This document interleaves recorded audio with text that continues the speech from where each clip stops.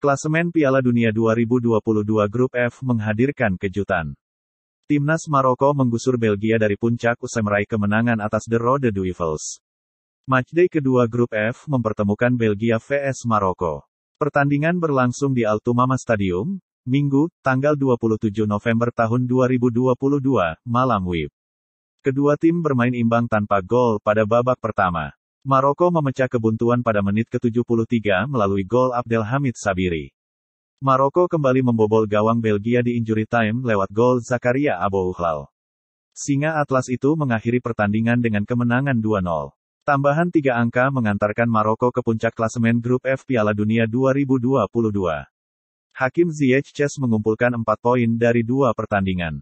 Keperkasaan Maroko menggeser Belgia yang turun ke posisi ketiga dengan 3 poin. Kini giliran Kroasia yang pimpin di urutan teratas dengan 4 poin, sementara Kanada di dasar klasemen tanpa satu pun poin. Kroasia yang menggilas Kanada dengan skor telak 5-1 memusnahkan harapan Kanada untuk ikut meramaikan di fase 16 besar Piala Dunia di Qatar 2022. Kesempatan masing-masing tim masih berpeluang saling mematikan lawan, jika ingin memuluskan lolos di babak selanjutnya.